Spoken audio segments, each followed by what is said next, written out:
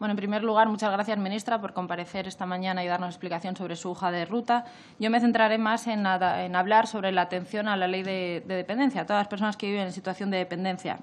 De sus palabras nos alegra oír que tiene voluntad política, por lo menos, de restablecer, recuperar y rescatar la ley de atención a la dependencia. Nos alegramos por ello. Nosotros aumentamos y creemos que hay que ir un poco más allá. Está bien con restablecer, recuperar y rescatar, pero tenemos que aumentar la financiación de la ley de dependencia.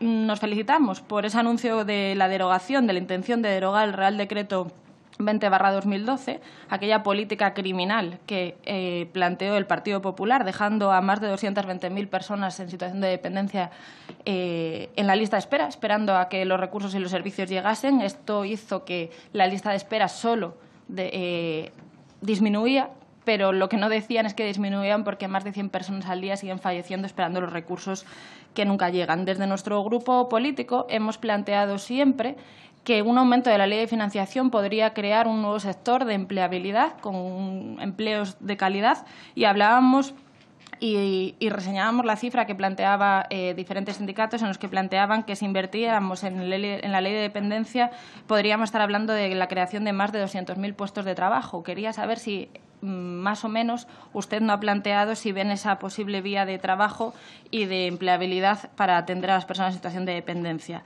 Eh, también nos gustaría saber si tienen o una aproximación de la cifra de ese aumento que quieren dar a la ley de dependencia. Nosotros planteamos que mínimo 2.500 millones para atender mínimo solo a las personas que están en lista de espera actual. Ya ni, ni hablamos de lo siguiente. Habla de que va a convocar al Consejo Territorial de Servicios Sociales y de Dependencia y de dependencia. Eh, le planteo directamente una pregunta. ¿En ese consejo van a debatir cómo va a ser la financiación? ¿Se va a seguir planteando y van a ser fieles defensores de que el Estado tiene que seguir financiando el 50% de la ley de dependencia y las comunidades autónomas el 50% restante? Porque hasta ahora eso no se está cumpliendo. El Estado asume un 2,9% de la financiación, las comunidades autónomas un 34% y los ayuntamientos el 63% queríamos saber cómo va a ser el sistema de financiación desde el Estado y de las comunidades autónomas.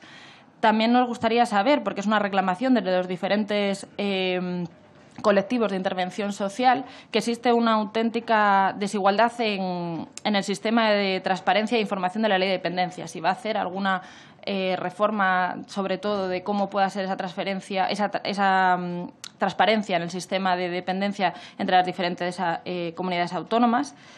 También eh, le preguntamos directamente qué es lo que va a pasar con todo lo que se aprueba en esta comisión. Venimos en un poco tiempo, durante dos años, somos muy poco el tiempo el que nosotras hemos estado en esta Cámara, pero veíamos que todo lo que se aprueba en la comisión de, bueno, en todas las comisiones, las PNLs, debe haber un cajón ahí en el olvido y queríamos saber cuál es la coordinación que puede haber entre esta comisión y el Ministerio. Porque en esta misma comisión, apoyando además por su grupo parlamentario, eh, tanto en esta comisión como en el Pleno, conseguimos que la ley de dependencia tenga por norma seis meses desde que una persona solicita un recurso o un servicio hasta que se pueda poner en práctica. Ustedes van a poner en, van a poner en práctica eso que ya aprobamos aquí, seis meses como tiempo de espera como máximo. Nos alegra muchísimo saber que van a reponer el derecho a las cuidadoras y a los cuidadores en el entorno familiar. Es una demanda que nosotras planteábamos desde que hemos entrado en la Cámara y con su grupo lo hemos trabajado tanto en la Comisión como en el, como en el Pleno nos alegra ver que además va a ser vía presupuestos generales porque ustedes lo han anunciado. Nosotros vamos un poco más allá. Va a hacer un aumento de la cuantía.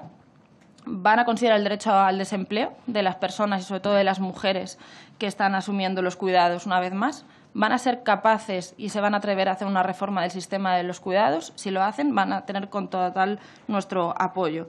En esta misma Cámara, en esta misma comisión, eh, hemos trabajado a nuestra propuesta y con la colaboración, sobre todo con su partido, de eh, hacer modificaciones para priorizar la gestión directa de todos los servicios de la, ayuda de la atención a la dependencia, especialmente de la ayuda a domicilio, que son trabajadoras que viven en condiciones de absoluta precariedad van a potenciar que se pueda hacer la gestión directa de todos los servicios de la atención a la dependencia.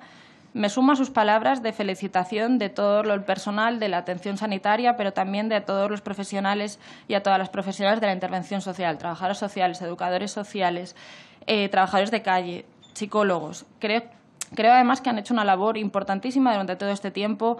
Eh, que hemos estado en esta mal llamada crisis. Pero yo creo que es urgente que pongamos fin a todo el proceso de desmantelamiento de la red pública de servicios sociales. y lo siento, pero es que su gobierno no, pero su partido sí fue el que lo, inició y el, el, coletazo final ya fue con el Partido Popular. Tenemos que abandonar la beneficencia, el asistencialismo y la caridad como sistema de los servicios sociales, que es como ahora mismo lo, estamos teniendo. Nos alegra ver que van a revertir todos los recortes y el aumento de la financiación del Plan Concertado de Prestaciones Básicas. Nosotras estamos con ello, pero para eso también es prioritario derogar la, rey, la ley de racionalización y sostenibilidad de la Administración local. Debemos de ser capaces de poner a la persona como sujeto de derecho y que los servicios sociales no se vean como unos meros gestores de los recursos, sino además como un aliado de la ciudadanía para que sus derechos se cumplan. El mismo halago hago al tercer sector, pero no puedo olvidar que el tercer sector no es el responsable y el que tiene la, la, la, la labor de valorar, diseñar, coordinar y, sor, y, supervisar todos los procesos que nosotros planteamos que debe ser desde la red pública y el tercer sector como un aliado, pero no es el responsable de darlo.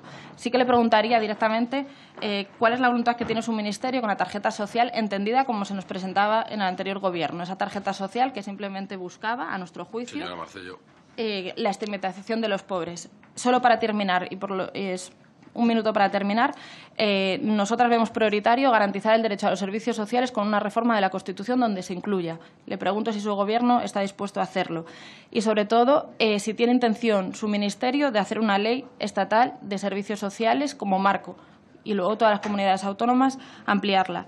Mm, señora ministra, para concluir, eh, de su hoja de ruta, de su hoja de ruta nos gusta su música. Hablemos sobre la letra. Gracias.